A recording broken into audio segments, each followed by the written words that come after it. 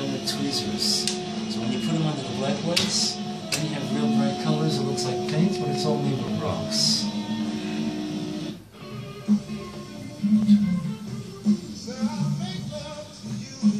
That's in the black light, and that's in the shortwave line. It's all done with tweezers and minerals a long time ago with glue.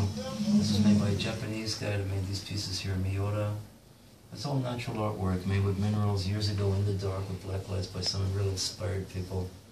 That's in the daytime, and that's in the nighttime. It's made by a lady that's 75 years old in the 1950s. Wow. So, and this one up over here, this is made by one of my